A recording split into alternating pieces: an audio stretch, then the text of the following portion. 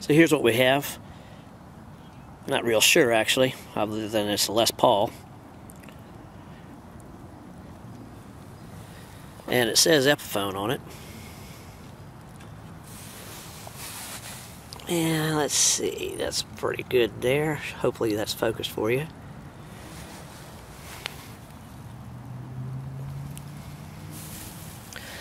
This was presented to me as a Royale, but every picture I've found of a Royale has gold hardware.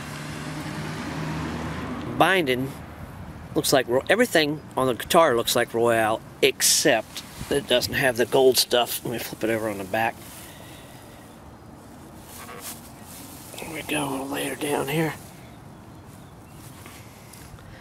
Ran the serial number it says 2014 Qingdao province, wherever that is over in China.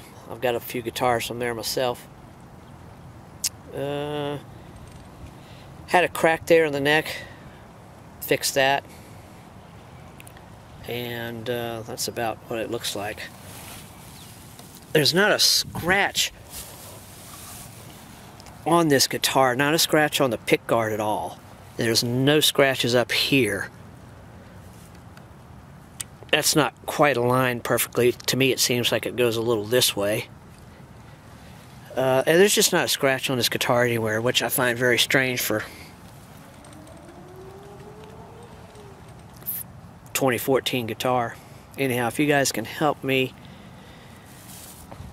with what this is, I think it is just a plain standard Epiphone, but it sure looks like a Royale. Thank you.